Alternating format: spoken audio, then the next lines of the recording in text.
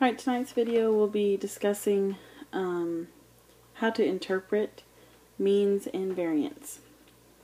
And so this is the, the title of your note page for this is Interpreting Center and Variability.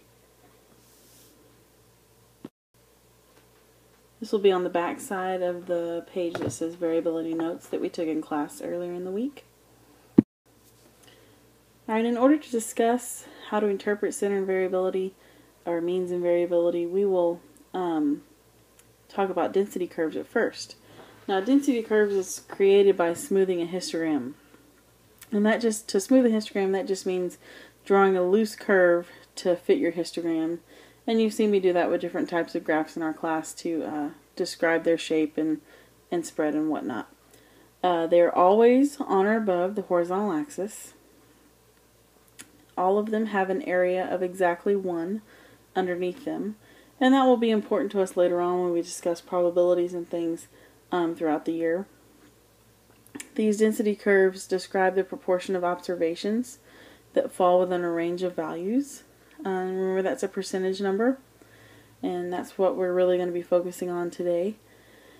And they are often a description of the overall distribution because of what their shape can tell us, um, whether they're skewed or uniform or symmetrical. Those can tell us different things about the mean and the median.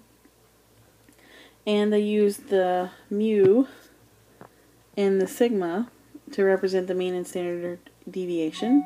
Remember, those represent populations, parameters.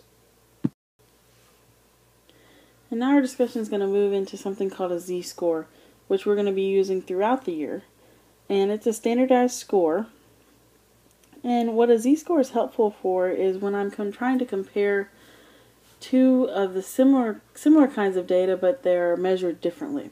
So, for instance, if I want to compare an ACT score for for someone to an SAT score, then I can standardize those scores so that um, they become z-scores and they're more easily um, comparable. And uh, this z-score will create the standard normal density curve, which we're going to discuss later on today and it always has a mean of 0 and a standard deviation of 1. And so here's the formula for calculating a z-score. Uh, you need to commit this to your memory because we will be using it um, quite often. The z stands for z-score. X stands for your actual observation. So if I was talking about a score on a test and I made a 92, that would be my X. Mu stands for, of course, your mean, which is you know, so let's say the class average was an 80. And then the standard deviation, remember that's your distance from the mean, is the denominator of this part. So it's a simple calculation that we're going to be using uh, quite often. So please commit this formula to memory. Alright, so this slide is actually going to tell us what z-scores mean. If I do my calculation, I come up with a negative 2.3 z-score. I'm 2.3 standard deviations below the mean. If I come out with a positive 1.8, that means I'm 1.8 standard deviations above the mean. So if I have a negative z-score, I'm below the mean. If I have a positive z-score, I'm above the mean.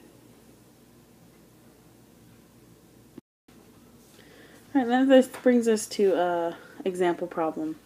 This says that Jonathan wants to work at Utopia Landfill. He must take a test to see if he is qualified for the job. This test has a normal distribution with mu of 45 and standard deviation of 3.6. So remember, mu is the mean.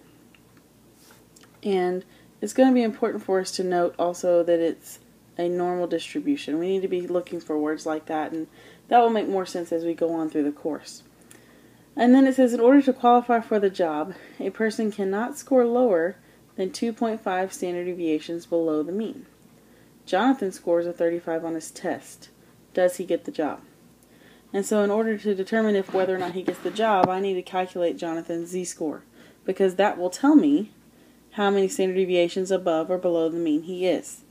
So again, my formula for a z-score is z equals the actual observation minus the average divided by the standard deviation. So again, here's the average, there's a standard deviation, and here's Jonathan's score. Those are the three numbers I'm going to substitute in my formula to calculate his z-score. So his score is 35, subtracting the average and dividing by 3.6. So I get negative 10 divided by 3.6. And when I uh, do that math, I get Jonathan's z-score at negative 2.778. So again, looking at our problem, it says that he cannot be lower than 2.5 standard deviations. And I found that he's lower um, by 2.778 standard deviations. Therefore, Jonathan does not get this job. No job for Jonathan. And that leads us into the discussion of the normal curve, which you've seen me draw before, just maybe not called the normal curve.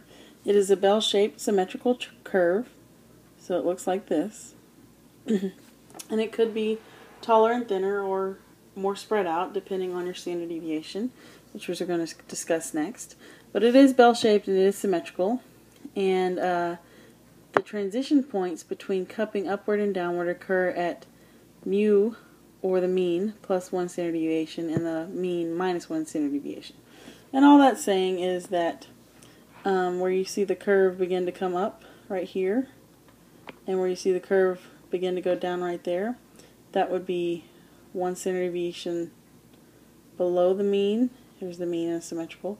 And this would be one standard deviation above the mean. And as the standard deviation increases, the curve flattens and spread out, spreads out. So the further you get from the mean, the further this cusping point, or cupping point, excuse me, is going to be out. If the standard deviation decreases, the curve gets taller and thinner. And that's something you need to be aware of um, for true-false type questions. And lastly tonight we need to talk about the empirical rule. The empirical rule can only be used with normal curves. So if you have a distribution that's skewed to the left or skewed to the right or is uniform, then uh, you cannot use it. It has to be normal uh, bell-shaped curve. And uh, that's where z-scores are going to come into also. But what this empirical rule gives us is a percentage of the observations of my data that are within um, certain standard deviations. And so the empirical rule says that 68% of all my data will be within one standard deviation of the mean. Approximately 95% of the observations will be in two standard deviations of the mean, and 99% excuse me, 99.7% of the observations are within three standard deviations of the mean. And so, what we'll do at the beginning of class tomorrow is actually draw a picture um, of the normal curve with these um, standard deviations drawn in as well, along with the mean. And I think the picture will help you see it um, even more clearly. But that's all for our video tonight. Um, just be ready at the beginning of class to uh, begin this discussion again.